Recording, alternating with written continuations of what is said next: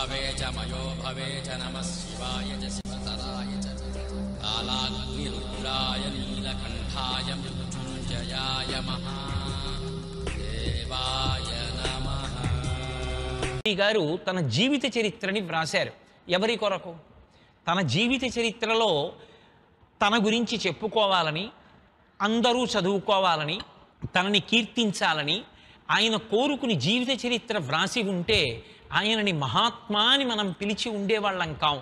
అమృత హృదయుడైనటువంటి గాంధీ గారు ఎందుకు జీవిత చరిత్ర వ్రాశారంటే మనుష్యుల యొక్క మనస్తత్వాలలో ఉండేటటువంటి ప్రధాన సమస్య ఎక్కడ ఉంటుందో దాన్ని తొలగించడానికి తన జీవితంలో ఉన్నటువంటి ఘట్టాల సమాహారాన్ని చదువుకున్నవాడు ఆదర్శంగా తీసుకుని ఆ పథంలో ప్రయాణించి విజయం సాధించాలనేటటువంటి కోరికతో జీవిత చరిత్రను ఇచ్చారు.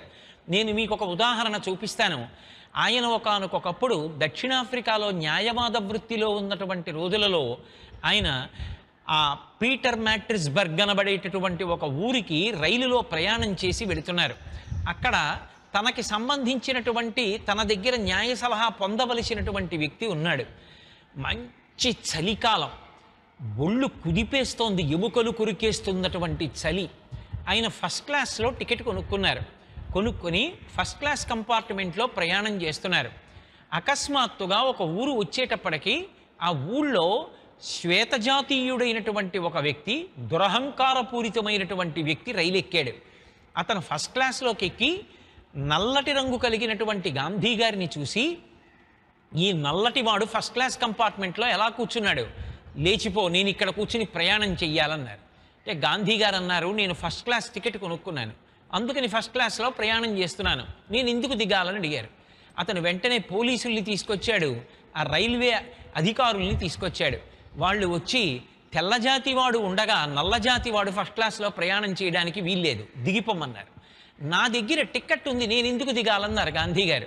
ఆ వచ్చినటువంటి పోలీసు ఆయన యొక్క పెట్టిని ఆయన యొక్క సామాన్ని ఆ వచ్చిన స్టేషన్లో ప్లాట్ఫామ్ మీదకి విసిరేశాడు. విసిరేసి బలవంతంగా గాంధీ గారిని ప్లాట్ఫామ్ మీదకి తోసేసి ఆయన బుక్ చేసుకున్నటువంటి ఆ బెర్త్ మీద ఆ సీట్లో ఈ తెల్లజాతీయుణ్ణి అనుమతించి రైలు వెళ్ళిపోయింది. గాంధీ గారు ప్లాట్ఫామ్ మీద పడిపోయారు. పోలీసులు వచ్చి ఆయన యొక్క పెట్టె అవి తీసుకుని వెళ్ళి ఆ పోలీస్ స్టేషన్లో కూర్చోపెట్టారు ప్లాట్ఫామ్ మీద. ఆయన ఆ ప్లాట్ఫామ్ మీద కూర్చున్నారు. ఎదురుగుండా పెట్టుంది పెట్టిలో ఉన్ని కోటు ఉంది. బయట చలి. ఎముకలు కొరికేస్తోంది. ఆయన పెట్టి తీసి ఆ కోటు వేసుకోగలరు. ఆయన జీవిత చరిత్రలోనే వ్రాసుకున్న మాట. ఇవాళ నేను పెట్టి తీసుకోవడానికి వెళ్ళి పెట్టి తీస్తుంటే ఎందుకు తీస్తున్నావు అని అడగచ్చు. కోటు కోసం అని అడిగితే ఏమి? నల్లవాడివి కాసేపు వణికితే మాత్రమే కోటు తీసుకోవడానికి వీలు లేదనొచ్చు. అవమానం మీద అవమానం జరుగుతుంది. ఇటువంటి దేశంలో నేను ఉండకూడదు. ఈ దేశాన్ని విడిచిపెట్టి నా మాతృభూమి భారతదేశానికి వెళ్ళిపోతానన్నారు ఒక్క క్షణంలో మహాత్మా గాంధీ గారికి ఒక ఆలోచన వచ్చింది. ఇవాళ నాకు ఒక సమస్య ఏర్పడింది. జాతి వివక్ష చేత ఫస్ట్ క్లాస్ టికెట్ కొనుక్కుని నేను ప్రయాణం చేస్తున్నా కూడా నన్ను బయటికి తోసేశారు. తీసుకొచ్చి పోలీస్ స్టేషన్లో కూర్చోపెట్టారు. ఇవాళ ఈ సమస్యకి నేను విరుగుడు కనుగొనలేక నిరాశకి లోనైపోయి నేను తిరిగి భారతదేశానికి వెళ్ళిపోతాను. అది సమస్యకి పరిష్కారమా? కాదు. సమస్యకి భయపడి పారిపోవడం. కాదు నేను ఈ సమస్యని ఎదుర్కోవడం ఈ సమస్యకి పరిష్కారం తీసుకురావడమే నా జన్మలో నేను చెయ్యవలసినటువంటి విధి అని నిర్ణయం చేసుకున్నటువంటి గాంధీ గారు సత్యాగ్రహంతో పోరాటం ప్రారంభం చేశారు. ఆనాడు గాంధీ గారిని రైలు పెట్టెలోంచి కిందకి తోసేస్తే మొట్టమొదట గాంధీ గారిలో వచ్చింది నైరాస్యం ప్రయత్నపూర్వకంగా గాంధీ గారు నైరాస్యాన్ని పక్కన పెట్టేశారు కాబట్టే సత్యాగ్రహం అనేటటువంటి ఆయుధాన్ని చేత పట్టుకుని దక్షిణాఫ్రికాలో జాతి వివక్షకి వ్యతిరేకంగా ప్రారంభం చేసినటువంటి పోరాటం చిట్ట చివరికి రవి అస్తమించినటువంటి బ్రిటిష్ సామ్రాజ్యం పరిపాలిస్తున్నటువంటి భారతదేశంలో స్వాతంత్ర సమరోత్సవం నందు ఆయన కేవలము సత్యాగ్రహాన్నే మళ్ళీ ఆయుధంగా చేసుకుని భరతమాత యొక్క దాస్య శృంఖలాలను ఛేదించి స్వాతంత్ర సంగ్రామాన్ని నడిపించి స్వాతంత్రాన్ని సంపాదించగలిగారు అంటే ఒకనకొకప్పుడు ఆయన్ని రైలు పెట్టెలోంచి తోసేసినప్పుడు ఏర్పడినటువంటి నిరాశ నుండి ప్రయత్నపూర్వకంగా బయటికి వచ్చే సమస్యని ఎదుర్కోవాలనేటటువంటి ధృతితో కూడిన బుద్ధిని అలవాటు చేసుకున్న కారణం చేత తరువాతి కాలంలో భారతదేశంలో కూడా స్వాతంత్ర సంగ్రామాన్ని నడపగలిగారు. అదే గాంధీ గారు నిరాశకి నిస్పృహకి వశుడైపోయి ఉండి ఉంటే అదే గాంధీ గారు భారతదేశానికి తిరిగి వచ్చేసి ఉండి ఉంటే ఆయన కూడా అందరిలా భారతదేశంలో కేవలం ఒక వకీలుగా జీవితాన్ని గడిపి ఉండి ఉంటే భారతదేశానికి స్వాతంత్ర్యం వచ్చి ఉండేదా? నిరాశకి వశుడు కాకుండా సమస్యని పరిష్కరించుకోవడానికి సమస్యని ఎదుర్కొనడమే సమాధానమని గాంధీ గారు నిరాశకి మనిషి వశపడకూడదని మనకి నిరూపించి చూపించబట్టి ఇవాళ గాంధీ గారి జీవిత చరిత్ర చదువుకుని మనందరం కూడా ఆయన చేత ఉత్తేజితులమై ఎప్పుడైనా జీవితంలో ఒక కార్యక్రమాన్ని ప్రారంభించి కొనసాగించేటప్పుడు ప్రతిబంధకం ఏర్పడితే చతికిలబడిపోకుండా పరమ సంతోషంతో దాన్ని స్వీకరించి ఎదురు వెళ్ళగలుగుతున్నాం.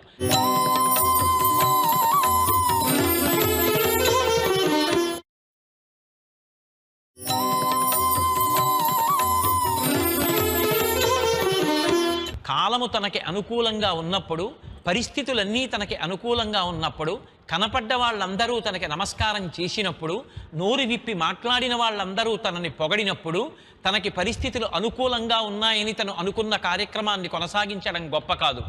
తనకి పరిస్థితులు ప్రతికూలమైనప్పుడు తన కార్యక్రమానికి అవరోధం కలిగినప్పుడు తనకి ప్రతిబంధకములు ఎదురైనప్పుడు ముఖం మీద చిరునవ్వు చెదరకుండా ఇది కూడా నా జీవితంలో ఒకనాడు నన్ను కీర్తి కిరీటం పెట్టి నిలబెడుతుందనేటటువంటి ధృతితో నిలబడి ప్రయాణం చేసిన వాడెవడో వాడు మిగిలిన వాళ్ళకందరికీ కూడా ఆదర్శమవుతాడు. అందుకే సుందరకాండలో హనుమ వెడుతున్నప్పుడు మైనాక పర్వతం బంగారు పర్వత శిఖరాలు ఎదురుగుండా వచ్చి నిపత్య మమసృంగేషు విశ్రమస్వ యథాసుఖం అన్నాయి. కాసేపు కూర్చోవయ్యా పర్వతం మీద అన్నాయి. బంగారు పర్వత శిఖరాలు వచ్చి కూర్చోమన్నప్పుడు వద్దులేండి అని చెప్పి వెళ్ళిపోవడం పెద్ద గొప్ప కాదు. ప్రతిబంధకం ఎదురొచ్చింది. ఆయనకి సాక్షాత్తుగా సొరస ఎదురొచ్చి నిన్ను నేను మింగుతాను నా నోట్లోకి వెళ్ళు అంది. అప్పుడు ఆయనకి అనుకూలమైనటువంటి పరిస్థితి కాదు. ఆయనకి ప్రతికూలమైనటువంటి పరిస్థితి వచ్చింది. వెంటనే మహర్షి అన్నారు ఆయన సొరస ఎదురొచ్చి తన నోట్లోకి ప్రవేశిస్తే తాను మింగేస్తానని సొరస అందని ఏమీ బెంగపెట్టుకోలేదు. ప్రహృష్టవదన శ్రీమాన్ ఇదం వచనమబ్రవీత్ అన్నారు. హనుమ యొక్క ముఖంలో సంతోషమునందు తరువు లేదు. బయలుదేరినప్పుడు ఎంత సంతోషంగా ఉన్నారో మైనాకుడు వచ్చినప్పుడు ఎంత సంతోషంగా ఉన్నారో సురస వచ్చి మింగేస్తానన్నప్పుడు కూడా అంతే సంతోషంతో జవాబు చెప్పారు. అంటే ఎప్పుడు ఆయన స్థిరచిత్తంతో ప్రవర్తించగలిగారు? అసలు శోకమునకు వశవర్తి కాకుండా ఇది నన్ను పాడు చేసేయడానికి వచ్చింది ఇది నాకు ప్రతిబంధకమని భయపడిపోకుండా నిలబడగలిగితే అప్పుడు ఆయన విజయం సాధించగలిగారు. అందుకే ప్రహృష్టవదన శ్రీమాన్ ఇదం వచనమబ్రవీత్ అంటారు మహర్షి. ఎవరు శ్రీమాన్?